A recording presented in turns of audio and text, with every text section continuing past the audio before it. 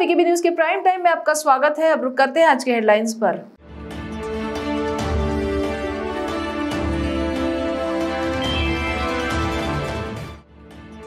राज्य के उप मुख्यमंत्री अजित पवार आज बुल्ढाना पहुँचे। सिंधखेड़ा में माँ जीजाऊ की जन्मसरी का भी किया दौरा।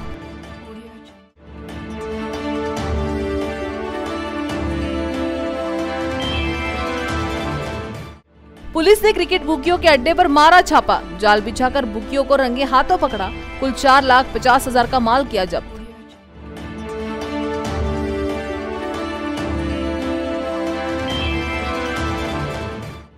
और चंद्रपुर में 305 वरवधु का सामूहिक विवाह समारोह। ज़िले के सभी दलों के नेता शादी में हुए शामिल।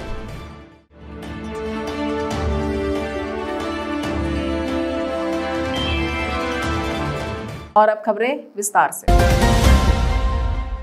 राज्य के उप मुख्यमंत्री अजित पवार, पुरातत्व विभाग के अधिकारियों से ये कहते हुए नाराज़ है कि राज्य सरकार ऐतिहासिक स्थलों के संरक्षण के लिए धन उपलब्ध करती है, लेकिन उन स्थलों को संरक्षित किया जाना चाहिए, इसलिए उन्होंने सिंध खेड़जा में माँ जिजाऊ के जन्मस्थान का दौरा किया है। राज्य के उप मुख्यमंत्री अजित पवार आज बुल्ढाना ज़िले पहुँचे हैं। इस अवसर पर सिंध खेड़ा में माँ जिजाऊ की जन्मस्थली का भी दौरा किया है। उसके बाद सिंध खेड़ाजा स्थित ऐतिहासिक स्थलों का निरीक्षण किया गया। सिंध खेड़ाजा विकास योजना एवं ज़िले के विभिन्न विकास कार्यों की समीक्षा बैठक आज दोपहर दो बजे सिंध खेड़ाजा पंचायत समिति हॉल में होगी। साथ ही कष्ट भी। शाम चार बजकर चालीस मिनट पर तेउलगांव राजा रोड स्थित समृद्ध हाईवे के चौराहे पर माँ जिजाऊ और शिवबा का नियोजित प्रतिमा निर्माण स्थल का निरीक्षण करेंगे।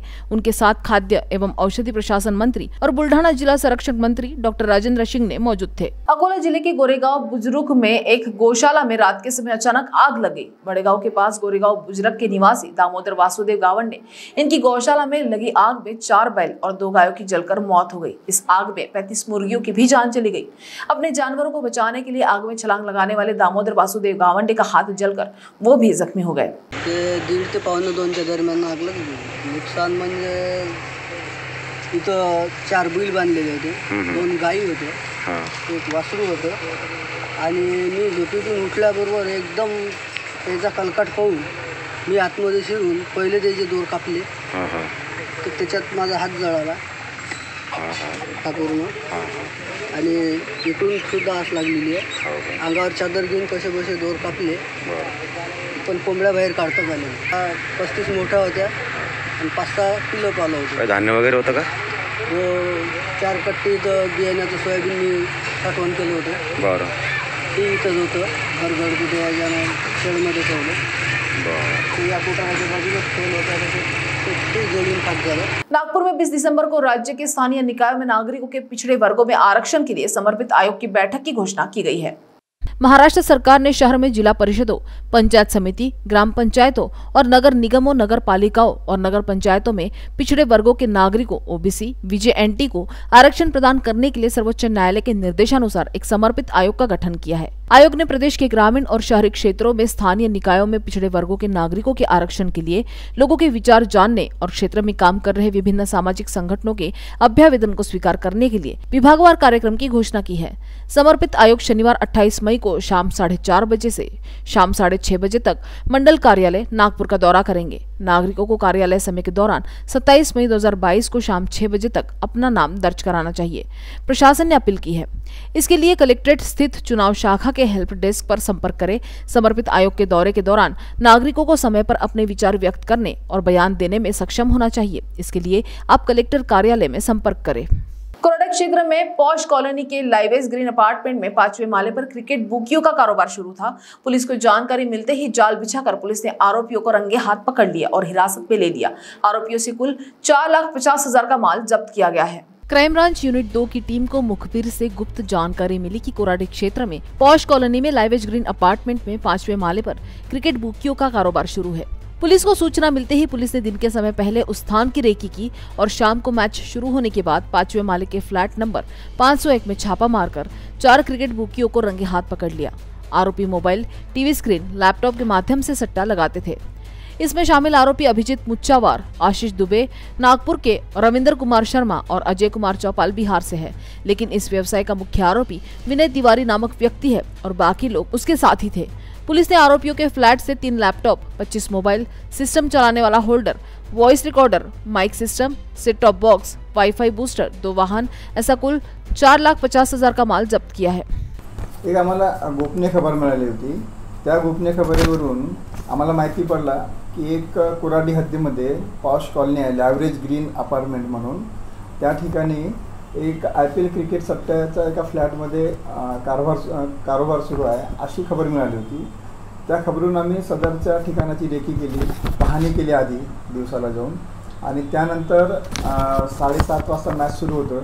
त्या पद्धतीनं आम्ही फिल्डिंग करून जवळपास आठ वाजता लॅव्हरेज ग्रीन अपार्टमेंटमध्ये असलेल्या पाचव्या फ्लोअरवर अं, आरोपीच्या फ्लॅटमध्ये पाचशे एक नंबरच्या त्या ठिकाणी आम्ही रेड केली. त्या ठिकाणी आम्हाला एकूण चार व्यक्ती हे mobile print mobile laptop T V screen यांच्या सहाय्याने आय पी एलवर क्रिकेट सट्टा घे- घेण्याचं काम करत होते असं मिळून आलं आम्हाला. त्या ठिकाणी आम्ही एकूण चार लोक मिळाले आम्हाला. त्यामध्ये एक अभिजित मुच्छावाड आणि आशिष दुबे हे प्रॉपर छावणी नागपूरचे आहेत. त्याचप्रमाणे आम्हाला इथं रवींदर कुमार शर्मा आणि अजय कुमार चौपाल हे दोन बिहारचे तरुणसुद्धा त्या ठिकाणी आय पी एल च्या सट्ट्यावर खा हिंदींचं काम करत होते. त्यानंतर आम्ही यांना विचारपूस केली. तर त्यांनी आम्हाला सांगितलं की विनय तिवारी हा सगळा अड्डा चालवतो. त्यावरून आम्ही सदर म्हणजे झडती घेतली फ्लॅटची झडती घेतली. त्या ठिकाणी आम्हाला तीन लॅपटॉप जवळपास पंचवीस मोबाईल एक त्यांचं चोवीस लाईन होल्डरचा बॉक्स असते जे सिस्टीम चालवायचा. ते एक होल्डर मिळालं. त्याचप्रमाणे व्हॉईस रेकॉर्डर माईक सिस्टीम दोन T V printer set top box net पुरवण्यासाठी हॉटस्पॉट वायफाय बूस्टर असं दोन मोटरसायकल असं बरंच साहित्य आम्हाला त्या ठिकाणी मिळून आलं. जवळपास आम्हाला साडेचार लाखाचा मुद्दा आम्ही त्या ठिकाणी जप्त केला. मेन आरोपी कोण आहे यामध्ये मुख्य आरोपी हा विनय तिवारी आहे आणि ह्या सगळ्या या बाकीच्या जे आरोपी आहेत इतर चार यांना सोबत घेऊन हा हे व्यवसाय करत होता. ते विनीत तिवारी कुठचे आहे विनय तिवारी हा छावणी नागपूरचाच आहे. इथला त्यानंतर हां आम्ही सध्या महाराष्ट्र जुगार कायदा कलम चार पाच आणि आय टी ॲक्ट कलम सहासष्ट सहासष्ट बी अन्वये गुन्हा दाखल केलेला आहे. आणि मान्य वरिष्ठांच्या मार्गदर्शनात सदर आरोपींना आम्ही आज कोर्टात पेश करून त्यांचा पी सी आर घेणार आहोत. आज सुबह करीब सात बजे नागपुर के झिंगाबाई टाकली इलाके में पुरुषोत्तम बाज़ार स्टोर में अचानक आग लग गई। अचानक आग लग जाने से सब चौंक गए। अग्निशमन दल एक घंटे में आग पर काबू पाने में सफल हुए। नागपुर के झिंगाबाई टाकली इलाके में पुरुषोत्तम बाज़ार डिपार्टमेंट स्टोर में अचानक आग लग गई। संजय छाबड़ी और अंकित अग्रवाल स्टोर के मालिक है। सुपरमार्केट ग्राउंड चार मंजिला इमारत के भूतल पर स्थित था। आग केवल भूतल पर स्थित दुकान तक ही सीमित थी। पहली मंजिल से चौथी मंजिल तक के आवासीय अपार्टमेंट को ज़्यादा चोट नहीं आई। आग ने किराने का सामान, डेयरी उत्पाद, जनरल स्टोर और फर्नीचर को नष्ट कर दिया। साथ ही सुपरमार्केट का एक बड़ा हिस्सा बच गया। मालिकों से मिली जानकारी के अनुसार करीब 9 लाख रुपए का नुकसान हुआ है और 55 लाख रुपए की सामग्री बचाई गई है। नगर निगम के अग्निशमन एवं आपातकालीन सेवा विभाग के कुल चार दमकल कर्मियों को स्टेशन अधिकारी राजेंद्र दुबे की देखरेख में आग बुझाने में लगाया गया। पीकेबी न्यूज़ के लिए कैमरा पर्सन रोशन बोकड़े के साथ लीना कटरे की रिपोर्ट। वक्त तो चला एक ब्रेक का। मिलते छोटे से ब्रेक के बाद। बाय सब जानना चाहते हैं। मेरा फेवरेट कलर मेरा फेवरेट डेस्टिनेशन मेरी फेवरेट डिश पर कोई ये नहीं पूछता कि फेवरेट डिश मैं बनाती कैसे हूँ। अरे यार, जिसे टेस्टी खाना पसंद है, वो अच्छे टेस्ट तक पहुँच ही जाता है। सुरुचि मसाले। खाने में हो रुचि तो घर लाइए सुरुचि। अपने सपनों की उड़ान भरने की इच्छा तो हर किसी की होती है। पर पंख भी तो मज़बूत होने चाहिए। जो देता है Flywheel Aviation Academy Flywheel Aviation Academy एक ऐसा इंस्टीट्यूट है जहाँ पर एयरलाइंस एंड एयरपोर्ट हॉस्पिटैलिटी और टूरिज़्म मैनेजमेंट साथ ही यहाँ campus interview guidance by industry expert practical training at airport expert faculty personal grooming जैसे कई सारे बेनिफिट आप पा सकते हैं। Flywheel Aviation Academy one degree three job opportunities Flywheel Aviation Academy gives you a degree और diploma with a job Flywheel wheel aviation academy three sixty five Gandhinagar LAD college square decide Karnataka bank Nagpur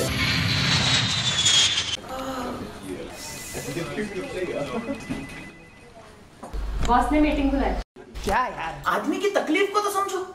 बाहर बाहर उठो बैठो उठो बैठो। जनाब तकलीफ़ उठने बैठने की नहीं तकलीफ़ बवासीर की है। बवासीर फिशर भगंदर पाइलोनियल साइंस का आयुर्वेद तथा आधुनिक लेजर से उपचार। Abhyudaya piles laser hospital Lohar Samaj Bhavan के पीछे महापुष्प सोसाइटी शताब्दी नगर चौक से मनीष नगर रोड नागपुर। कॉल और विज़िट करें www.pilesfistulacure.com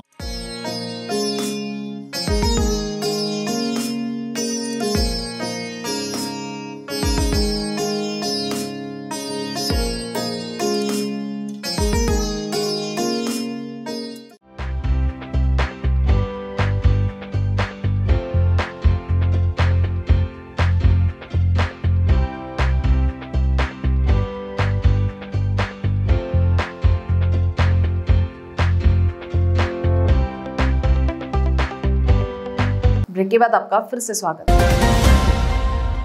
कामठी नागपुर ज़िले की सबसे बड़ी नगर परिषद की श्रृंखला में शामिल है। दो लाख आबादी वाले कामठी शहर में स्वच्छता के लिए घन कचरा व्यवस्थापन के लिए घंटा गाड़ी की व्यवस्था की गई है। इसी माध्यम से कामठी शहर के अलग अलग भाग से कचरा जमा कर डंपिंग यार्ड में लाकर जमा किया जाता है, परंतु इस कचरे का सही तरीके से नियोजन नहीं किया जाता। रिसाइकलिंग के माध्यम से उचित नियोजन करना अत्यंत आवश्यक है, परंतु ऐसा नहीं किया जाता, जिस कारण डंपिंग यार्ड परिसर में बदबू व प्रदूषण निर्माण हो रहा है। कामठी में घंटा गाड़ी द्वारा जमा किए गए कचरे का सही तरीके से नियोजन नहीं किया जाता। रिसाइकलिंग के माध्यम से उचित नियोजन करना अत्यंत आवश्यक है, परंतु ऐसा नहीं किया जाता, जिस कारण डंपिंग यार्ड परिसर में बदबू व प्रभूषण निर्माण हो रहा है। यदि इस घन कचरे का सही तरीके से नियोजन कर गीला तथा सूखा कचरा अलग अलग कर गीले कचरे से बायोगैस बनाई जा सकती है, तथा बचे हुए कचरे से खत बनाकर किसानों के लिए उपयोगी हो सकती है। उसी प्रकार प्लास्टिक का रिसाइकलिंग से नगर परिषद अपनी अकेडमी बना सकती है। भारत सरकार घन कचरा व्यवस्थापन के लिए बड़ी मात्रा में निधि उपलब्ध कराती है, ऐसी राय राजेश दुबे ने दी। जिस प्रकार से सब्ज़ी बाजी फल, फ्रूट का जो कचरा होता है स्लैटर हाउस का जो कचरा होता है, इसको प्रॉपर तरीके से डिस्पोज अप करके, उसकी बायोगैस तैयार करके और उसका जो कचरा निकलता है, उससे खाद का भी निर्माण होता है और बायोगैस से इलेक्ट्रिसिटी तैयार होती है जनरेटर के माध्यम से। तो इस तरीके का नगर पालिका ने करना चाहिए, जिससे लोग आम जनताओं को भी पर्यावरण, स्वच्छ आबो हवा मिलेंगी, प्रदूषण की समस्या निर्माण नहीं होंगी, और नगर पालिका की एक मोटी आय निर्माण होंगी, जिससे नगर पालिका मज़बूत बनेगी। वीकेबी न्यूज़ में आपका सबका स्वागत है। इस समय हम नगर परिषद के डंप कचरा डंपिंग यार्ड परिसर में खड़े हैं। आप मेरे पीछे देख सकते हैं कि कामटी में जो कचरा निकलता है घरों से, वेस्टेज कचरा, इसी जगह पे लाकर उसे डंप किया जाता है। यहाँ कचरा डालने के बाद में नगर परिषद इस कचरे को रिसाइकलिंग रिसाइकलिंग करके अलग अलग भागों में बांट कर उसे गीला कचरा और सूखा कचरा और पन्नियों को एक एक दूसरे को अलग करके रिसाइकलिंग किया जाता है। परंतु यहाँ पर नगर परिषद इस इस प्रकार की, किसी प्रकार की व्यवस्था नहीं की की गई है। मात्र यहाँ पे कचरा लाया जाता है और कचरा ला के डाल दिया जाता है। परंतु नगर परिषद ने इस तरफ़ ध्यान देना चाहिए कि इस कचरे से रिसाइकिंग करके कुछ आ, कुछ रिसाइकिंग करके इस कचरे को विल्लेवाट लगाना चाहिए। लेकिन परंतु नगर परिषद इस प्रकार का किसी प्रकार का इस पर उपाय योजना नहीं कर रही है। आने वाले बरसात में जब पानी आएगा तब ये कचरा बहकर नाला जो पीछे में नाले द्वारा बहकर बाहर बहे बहा जाएगा जिससे इस परिसर में बदबू गंदगी फैल जाएँगी। पर, लेकिन फिर भी नगर परिषद का इस और किसी प्रकार का ध्यान नहीं है, जो कि लोगों ने यहाँ की मांग की है कि इस कचरे के ऊपर भी नगर परिषद ध्यान देना चाहिए और इसके ऊपर रिसाइकिल करके इस कचरे का नियोजन, उचित नियोजन करना चाहिए। कामटी से नितिन रावेकर वी न्यूज़ के लिए। पीकेबी न्यूज़ के लिए कामठी से नितिन रावेकर की रिपोर्ट। चंद्रपुर में 305 वर वधु का सामूहिक विवाह समारोह हुआ। ये बहुधार्मिक विवाह समारोह स्वतंत्रता के अमृत महोत्सव के अवसर पर आयोजित किया गया था। कार्यक्रम का आयोजन शहर के दतला मार्ग स्थित बालाजी मंदिर परिसर में किया गया। समारोह का आयोजन पूर्व सांसद नरेश पुगलिया ने किया। भाग लेने वाले जोड़ों को सांसारिक सामग्री दी गई। सांस्कृतिक कार्यक्रमों, कव्वाली, मैराथन सहित विभिन्न कार्यक्रमों का आयोजन करके इस कार्यक्रम का विस्तार किया गया। शादी में ज़िले के सभी दलों के नेता मौजूद थे। कोई किसी भी जाति का हो, धर्म का हो, लेकिन भारत में हम लोग भारत के संविधान के हिसाब से बाबा साहब अंबेडकर ने जो संविधान दिया है तो उसके माध्यम से हम चलते हैं। और इस भारतवर्ष में, और खास करके हमारे ज़िले में, समाज कारण से राजकारण इस ओर जो जाता है, वो किसी पद पे रहे, न रहे, लेकिन उसका काम करते रहता है। साथियों आज के इस खुशी के मौके पर मैं नव दंपति से अपेक्षा करूँगा कि वो अपने भावी जीवन में अपने राष्ट्र के प्रति, अपने परिवार के प्रति समर्पित भावना से अपना जीवन एक सुखमय और समृद्ध में बिताए। पुणे के खेड़ तालुका के ब्रिहम में बकरियों को चराने के दौरान युवाओं को खेत में 15वीं सदी के सिक्के मिले। ये घटना 4 जनवरी 2022 की है। खेड़ तहसीलदार ने सिक्का जब्त कर लिया है। साथ ही 19 तारीख को सातारा के शिवाजी महाराज संग्रहालय में लाया गया। इस बात की जानकारी संग्रहालय के प्रमुख प्रवीण शिंदे ने दी। इन सिक्कों में शिवराय के सिक्के, अकबर के सिक्के, बहमनी सुल्तान के सिक्के, ईस्ट इंडिया कंपनी के निज़ाम शाही सिक्के शामिल है। और इसका वज़न लगभग दो दशमलव चालीस किलोग्राम है। एक तांबे के सिक्के वाहने सहायक निदेशक पुरातत्व पुणे द्वारा श्री छत्रपति शिवाजी महाराज संग्रहालय के प्रमुख प्रवीण शिंदे को सौंपे गए। 4 जनवरी 2022 को रोहित दास सावंत का पुत्र सुयश रुकाड़े अपने खेत में बकरियाँ चराने गया था। उस समय उन्हें खेत में पंद्रहवीं सदी के एक सिक्के मिले थे। कालच या अतिदुर्मिळ अशी शिवराय नाणी प्राप्त झालेली आहेत. ही नाणी साधारण शिवराज्याभिषेकवेळी काढलेले आहे. त्यामुळे त्याचे विशेष महत्त्व आहे. सदर नाणी ही व्हीएम तालुका खेड जिल्हा पुणे येथे एका मेंढपाळाला सापडली होती. साधारण ही नाणी एकशे सत्तेचाळीस असून त्याचे वजन अडीच किलो आहे. ही नाणी ही सहाय्यक संचालक पुरातत्व विभाग पुणे यांच्या ताब्यात दिल्यानंतर तेथून त्यांनी सदर नाणी ही सातारा संग्रहालयात सुपूर्द केली आहेत. विशेष म्हणजे या नाण्यामध्ये शिवराय कॉईन्स त्याचप्रमाणे अकबराची नाणी निजामशाही नाणी बहामनी नाणी अशा विविध प्रकारच्या नाण्याचा समावेश आहे.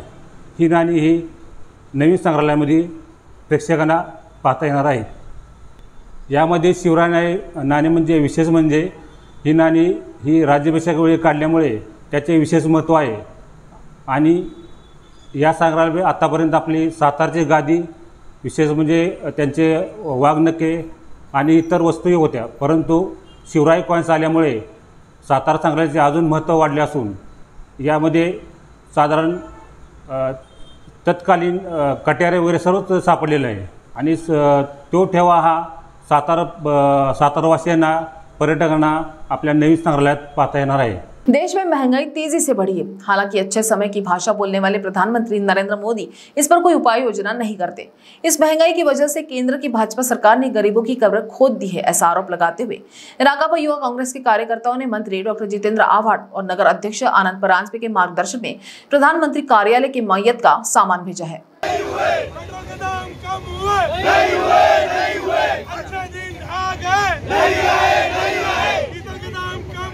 नहीं हुए। अच्छे दिन आ गए। नहीं आए नहीं आए। पंद्रह लाख अकाउंट में आए। नहीं आए नहीं आए। अरे हमारे मोदी। मोदी।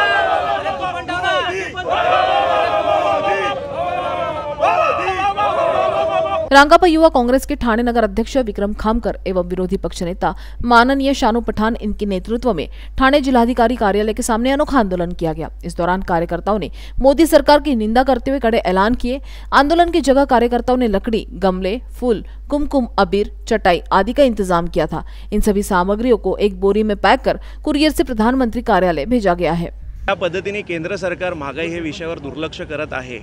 आज तुम्ही बघत असाल, सर्वसामान्य त्याच्या दररोजच्या जीवनामध्ये जे आज आपण गॅस म्हणतो घरगुती गॅस म्हणतो त्या घरगुती गॅसची किंमत आज तेराशे रुपयेपर्यंत पोचलेली आहे. इंधनाचे दर आज शंभरी पार केलेली आहे. देशाचे पंतप्रधानांना ह्या सगळ्या गोष्टीचा काही पडलेला नाही आहे कुठेतरी एखादा विषय आणायचा आणि जे मुख्य विषय आहेत त्याला भरकटवायचा.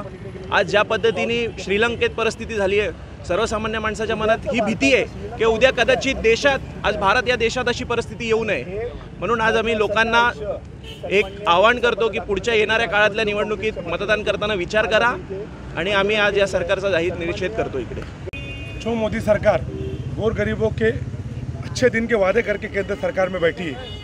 आज वो ये सोच रहे होंगे कि भोंगे की राजनीति करके मंदिर मस्जिद की राजनीति करके महंगाई को दरकिनार कर सकते तो ऐसा हरगिज नहीं होगा। हिंदुस्तान के आम नागरिक अब बर्दाश्त कर चुके हैं और आने वाले वक्त के अंदर मोदी सरकार, केंद्र सरकार को इसका जवाब महँगाई के जो महँगाई का दर बढ़ा है, उसका जवाब दे के ही रहेंगे। आज हमारा स्तर इतना कर चुका है कि जीडीपी बांग्लादेश से हमारी नीति नीचे जा चुकी है और हमारे, हमें भोंगे की ही राजनीति दिख रही है। आज आम्ही जो भारत देशामध्ये महागाईचा भस्मासूर मोदी सरकारच्या रूपाने सर्वसामान्य नागरिकांच्या नरड्यावरती बसला आहे सर्वसामान्य माणूस महागाईच्या या बोजाने फक्त मरणाचं बाकी आहे. मरणासन्न झालेलं आहे. एकही कुठलीही सामान्य गोष्ट अशी नाही आहे ज्याचे दर वाढलेले नाही आहेत सर्वसामान्य नागरिक जगू शकत नाही आहे आता फक्त त्याची मरणाचीच वेळ बाकी आहे. आणि हे सन्मान्य पंतप्रधान मोदी मोदी साहेबांना कळावं आणि त्या सामान्य कार्य सामान्य माणसाचं सरण त्याच्या मरणाचं सरण राष्ट्रवादी युवक काँग्रेसच्या माध्यमातून सन्मान्य मोदी साहेबांना भेट म्हणून पंतप्रधान कार्यालयाला आम्ही ते पाठवणार आहोत. कमीत कमी ह्या सरणाकडे बघून तरी त्यांचे लक्ष देईल की सामान्य कार्य सामान्य नागरिक हा मरणाच्या दारामध्ये उभा आहे. हे आंदोलन आम्ही सन गृहनिर्माण मंत्री डॉक्टर जितेंद्र आव्हाड साहेबांच्या आणि जिल्हाध्यक्ष आनंद परंजपे साहेबांच्या गटनेते नजीब मुल्ला साहेबांच्या आणि तसेच महाराष्ट्राचे युवकांचे नेते मेहबूबाई शेख यांच्या संकल्पनेतून हमें आज यह आंदोलन ठाण्यामध्ये में करत आहोत. आज सुबह मनोरा तालुका के सिंगत से सोमनगर रोड पर दो पहिया वाहन की टक्कर हो गई। हादसे में नीचे गिरे हुए एक व्यक्ति को पीछे से आने वाले ट्रक ने कुचल दिया। उसकी उसी समय मौत हो गई और दूसरा व्यक्ति गंभीर जख्मी हो गया, उसे अस्पताल में भर्ती कराया गया है। तो वीकेबी प्राइम टाइम न्यूज़ में आज इतना ही। आपसे कल फिर मुलाकात होगी। तब तक देखते रहिए वीकेबी न्यूज़ नमस्कार।